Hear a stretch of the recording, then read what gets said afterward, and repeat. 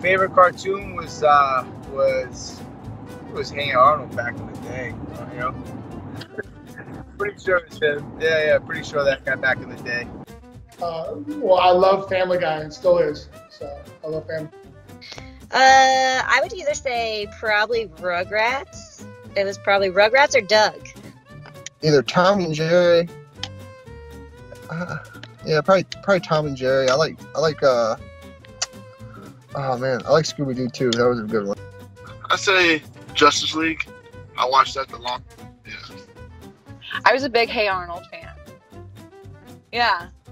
Favorite cartoon? Man, there's a lot of them. Uh, my favorite one, I used to, I used to love uh, Ed, Edd n Eddy. I don't know if you remember that. My favorite cartoon was Thundercats.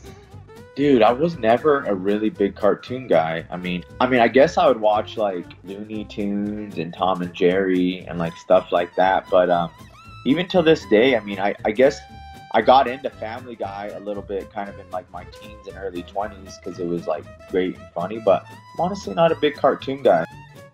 Um, I would have to say, well, anime, Cowboy Bebop. I think I watched that, watched it so many times. SpongeBob. SpongeBob. Yeah, Spon- it was actually between SpongeBob and Rocket Power. I really liked Rocket Power, so those two are probably top two. SpongeBob SquarePants, man. My favorite cartoon was. I'd probably say The Simpsons.